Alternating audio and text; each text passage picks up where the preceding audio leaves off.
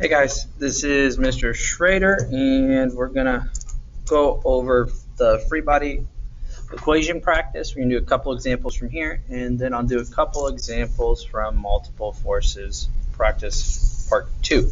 Okay, all of this stuff is fair game and likely to be on both the quiz and the test that we're gonna take later on over the same topic. Okay, so for this practice, all this is saying is, hey, you're given a free body diagram let's write an equation solving for the variable listed here. So when we look at this, we should recognize is this force FA is larger than FD. So when we write our equation, it's always big minus small. Our positive direction is where the net force is going. So A is bigger, so that's going to be our positive FA. FD goes in the opposite direction, so we subtract it, and we set that equal to M times A. Okay? If I want to solve it for FD, I need to isolate and get this variable by itself. I like to add it to the other side. So I'm going to add FD here and cancel it here. Last step for me would be to, well, let's subtract MA over. So I get FA minus M times A is equal to FD. And from there, if you had numbers, you could solve that problem mathematically. Okay. We're going to solve this one for FFK. Looking at this diagram, the net force, so the overall force, should be to the left, because FD, FFK, and T all have about the same amount of force, but there's two on this side versus one here. So it's very clearly this is the way it will accelerate. So we make that leftwards direction positive force. So I'm going to say FFK is positive plus FD is positive minus t is in the negative direction is equal to m times a. Okay. From here, if I want to get ffk by itself, I need to add t over, and I need to subtract fd over, and that should be my entire equation. ffk is equal to ma plus t minus fd. To solve for FA1. Now this net force is more to the right than to the left, so FA is positive. We will subtract the other two, which is FA2 and FD. I'm going to add these two to this side. FA1 equals MA plus FA2 plus FD. And that's all there is to it. Um, this one, a little bit trickier. We want to solve for m here, and m is not one of the forces. We can see, though, that our net force is going up. So we're going to say force of thrust is positive minus Fg minus Fd equals m times A. Now, what you have to remember is that Fg is equal to m times g. So anytime we want to solve for m, if there's a fg in the equation, we got to sub this in. So this has to go in here. So that's going to change it to fth minus m times g minus fd equals ma. Okay, I need to get all the m's on the same side, so I'm going to add this over. fth minus fd equals MA plus MG.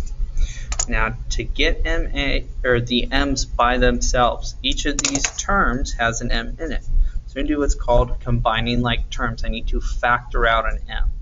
So this right here is the same thing as M times, well, if I divide by M, I'm left with A plus, and here mg divided by M gives us g.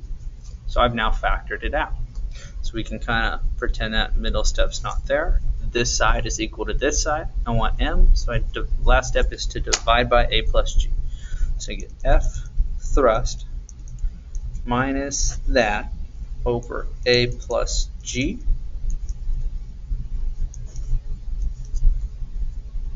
Set it equal, and we are left with m. That's probably the hardest problem on here. Uh, the other two pretty straightforward. So let's go ahead and get on to multiple forces practice problem part two. Okay. So what's new here versus part one is we're still using A, But in order to get A, what you see here is we got 0 meters per second, 2.5 meters per second, 0.5 seconds. We have to go back to kinematics. In kinematics, we did our five or five variables: v initial, v final, a, delta x, and t. We're given in this one 0 because it starts from this, it ends at this, so that's our final velocity unit-wise, and 0.5 seconds is time, so 0.5 seconds here. These are the three variables we know. We need A in order to solve the problem.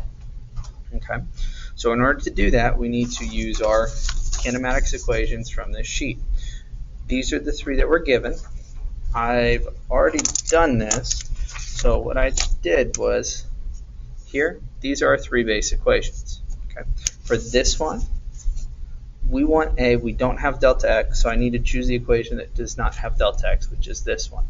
You will solve this equation for A. So to do that, we subtract VI. So you have VF minus VI equals AT, and then we divide by T.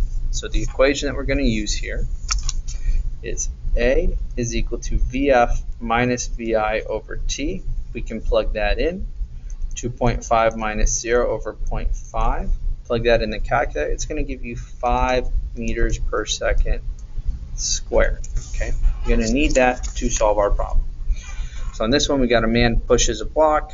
There's friction pushing it back. So our free body diagram is going to be net force FA goes this way.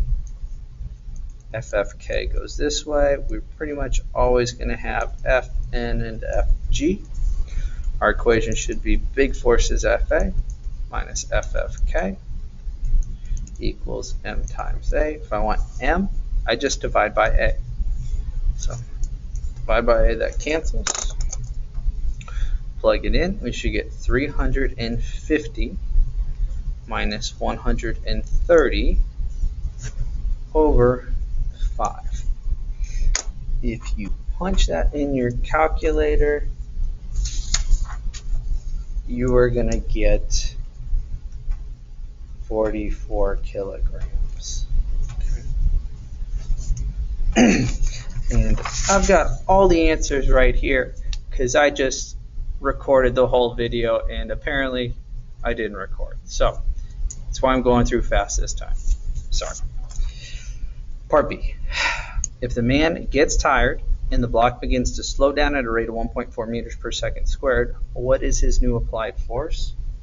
So the way that this works out is that now in this scenario, the only thing that's changed, our forces haven't, but the size of the forces have. We got FA to the right.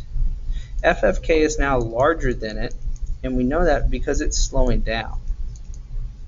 So honestly, it's not that this got bigger, it's that this number got smaller, FA got smaller. We write our equation now, the bigger force is FFK minus FA.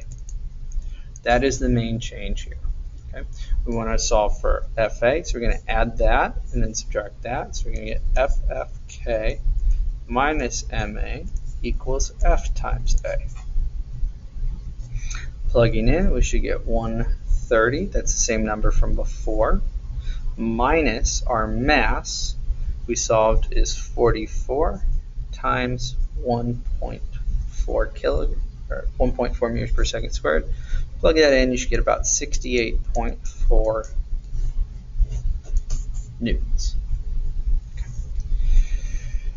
Two, a 22 gram bullet. That means it has a mass of 0.022 kilograms. You got to divide that by a thousand. It's going to fall through the air what is the air resistance on the bullet? So essentially we have gravity pulls this bullet down. There's some air resistance making it, or drag, sorry, making it slow down. So if I wrote this equation it's going to be Fg minus Fd equals m times a. We know what air resistance is, we're going to solve for Fd. Fd, sorry, Fd Let's do it this way. Fg minus Ma equals F times D. Okay. In order to answer this, I need to know what the acceleration is. So again, we're going to do kinematics. Our kinematics, we've got the initial is going to be zero. This problem should say it drops. Typo. It should say it drops it. It goes down 12.15 meters, and it does that in a time of 2.8 seconds. So again, we would use our equation that's missing VF, solve for A, missing VF, solve it for A. What happens here, V initial times T is 0, so you get delta X equals 1 half AT squared. I multiply the 2 over to cancel it, I divide it by T squared. This is our equation. A is equal to 2 delta X over T squared. you plug in these numbers, you should get that the acceleration comes out to 3.1 meters per second squared. We plug that into this equation here, we should have essentially 0.022 times 10, because this is m times g, minus 0.022 times 3.1, and it should come out to 0.152 newtons. Number three, uh, stagecoach pulled by four horses, accelerating at this, from rest to this, in a distance of this, frictional force. So we've got applied force going this way, friction slowing it down, Fg, Fn. Equation is going to be Fa minus, so minus FFK equals MA. If I want frictional force, I need to add it and subtract that. So FA minus MA equals FFK. I need A. To get A, I need to list my variables again. We've got V initial is 0 because it's from rest. V final is 13.4 meters per second. A we don't know. Delta X is 120 meters. T we don't know. Equation wise, choose one that's missing T.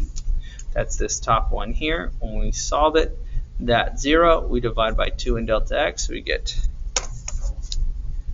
acceleration is vf squared over 2 delta x.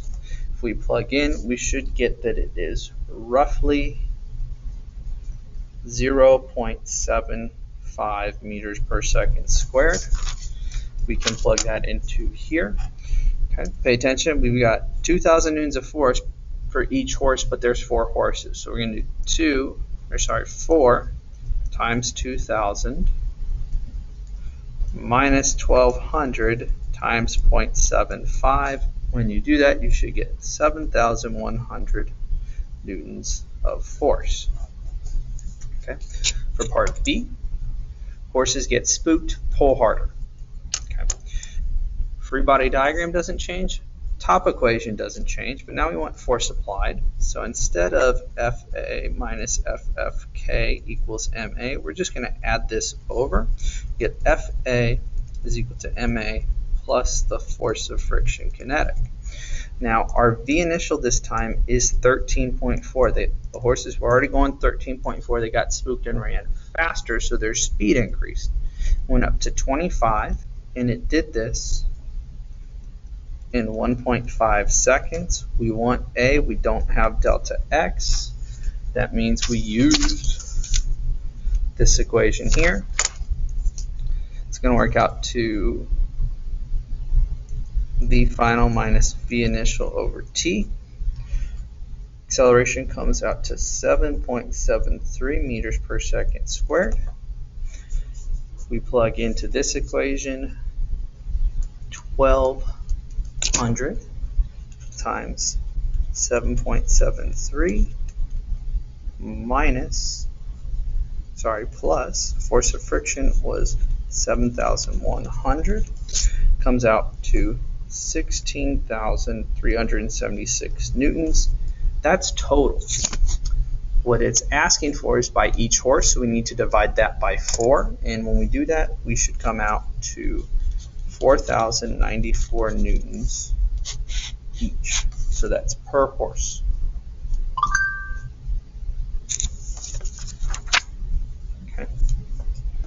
Number four, we got a man stands in an elevator, got a mass of, we want to find the mass. So here, accelerates upwards.